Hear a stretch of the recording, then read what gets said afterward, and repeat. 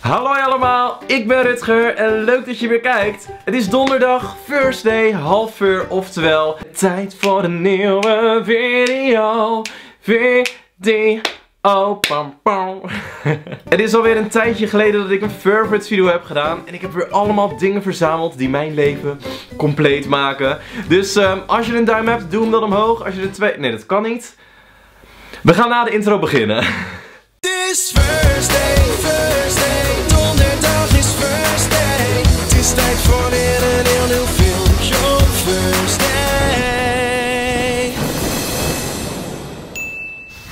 Het is alweer een tijdje terug dat het augustus was, oftewel de winkels liggen inmiddels vol met Sinterklaas snoepgoed. En mijn favoriet is echt de chocolade kruidnoot. Ik heb daarom de afgelopen tijd wetenschappelijk onderzoek gedaan naar wat nou de allerlekkerste chocolade kruidnoot zijn. Ik heb ze echt van alle winkels geprobeerd.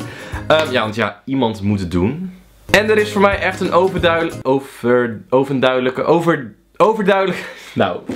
Een overduidelijke winnaar uitgekomen, namelijk die van de Albert Heijn huismerk. En gisteravond was deze zak nog vol en ik zag hem liggen. Ik dacht, oh mooi, die kan ik dan morgen in mijn video laten zien en proeven. En hmm, zeggen dat het lekker is. Maar inmiddels is hij al leeg. Kun je nagaan hoe lekker die is? En wasn't me. Ik bedoel, toen ik laatst ging film kijken, toen had ik zo'n bakje voor mezelf gemaakt met voor de helft chocoladekruidnoten en voor de helft pepernoten. En op een gegeven moment had ik per ongeluk een chocoladekruidnoot en een pepernoot, zijn die zachte dingen, had ik tegelijkertijd in mijn mond gedaan. En de combinatie van chocola met pepernoot was zo lekker dat ik dacht, wow. Dit moeten ze ook in de winkel verkopen. Dus ik heb echt stad en land afgezocht naar chocolade pepernoten. Maar die bestaan gewoon niet. Maar daarom ga ik ze nu maar zelf proberen te maken. Een beetje 24 Kitchen mini editie of zo. Kom mee!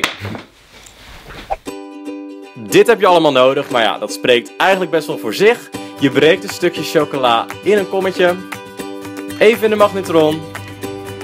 Nee, ik heb niet zo lang erin gedaan blijkbaar. Het is helemaal verbrand. Oh. Nou, tot zover deze inspirerende tutorial. Ik kan ook echt niks. Inmiddels ben ik bezig met poging 2 met melkchocolade. Dus ik hoop dat die wel goed gaat. In ieder geval valt het dan minder op als die zwart is. Denk ik. Gelukkig lukte de melkchocolade wel. Daarna prik je gewoon met een klein satéprikkertje in de pepernoten en doop je ze in de chocolade. Dit herhaal je tot de chocolade op is en tada! Het kan ook nooit eens goed gaan, hè? Dus ik heb nu alleen een schaal met uh, melkchocolade, terwijl eigenlijk wit mijn favoriet is.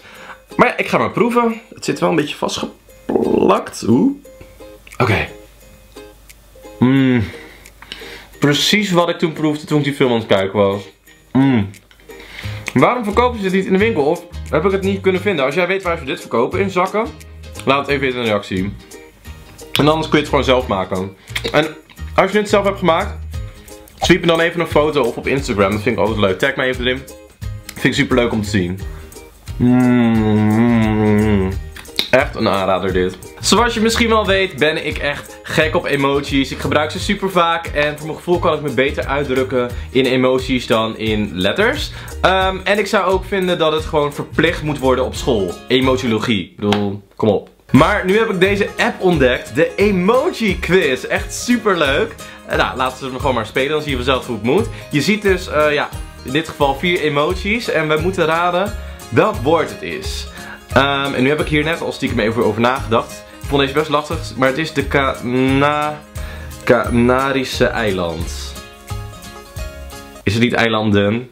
Emoji quiz. Maar goed, we hebben hem gehaald. Yay, volgend level. Oh, echt. Het, dit zit echt vol met reclames, het spel. Dus dat is wel een beetje jammer. Um, Oké, dit is echt de slechtste demonstratie ooit. Want ik weet deze gewoon echt niet. Sommige levels zijn moeilijk en deze moeilijk, want ik weet het niet. En als jij het wel weet, laat het dan even achter in de reactie, want dan kan ik weer verder. Dankjewel alvast. De app is gratis te downloaden voor iOS en Android. Ik heb het linkje in de beschrijving staan. Ik vind het de laatste tijd super leuk om dagelijkse vlogs te volgen. Zo kijk ik bijvoorbeeld die van Enzo. Maar ik volg ook, en dat is een beetje een guilty pleasure misschien, die van Masha. Uh, ik vind het gewoon super inspirerend om te zien hoe ondernemend ze is. Wat ze allemaal doet. Afspraak hier, afspraak daar. Echt super vet om dat allemaal uh, ja, te kunnen volgen. En ja, ze heeft natuurlijk dat altijd op uh, Beauty Gloss gedaan. Maar nu heeft ze best wel een dappere stap genomen vind ik. Namelijk een apart vlogkanaal. Dus eigenlijk begin je gewoon helemaal opnieuw.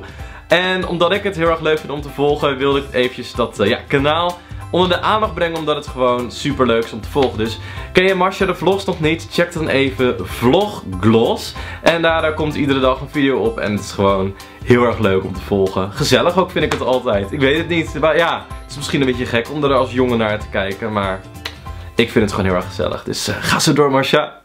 Nu is het tijd voor iets nieuws, namelijk Speed Favorites. Ik heb op Twitter gevraagd aan jullie, jongens, vul dit aan. Rutger, wat is je favoriete sporttoestel? Mm, lastig, ik vind heel veel dingen wel leuk, maar ik denk de benchpress, dus bankdrukken.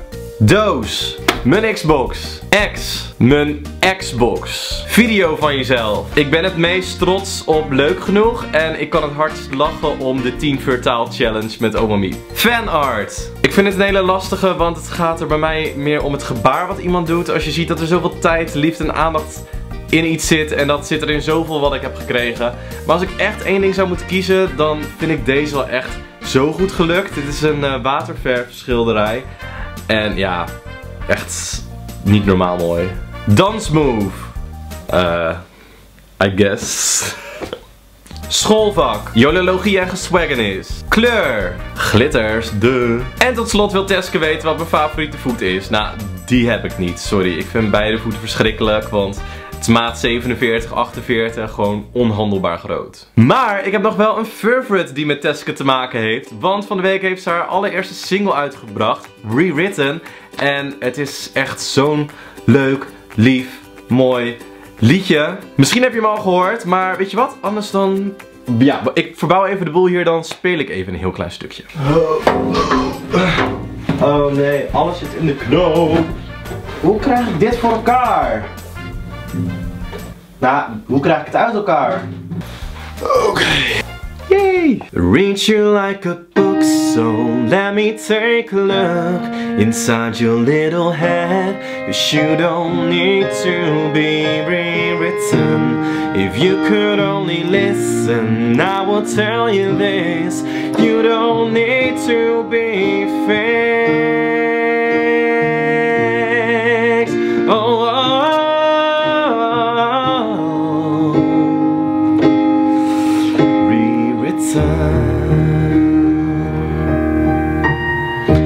Je het hele nummer wil horen, check even de beschrijving. Er staat een linkje naar Teske kanaal. En in de beschrijving staan trouwens de linkjes naar alle favorites.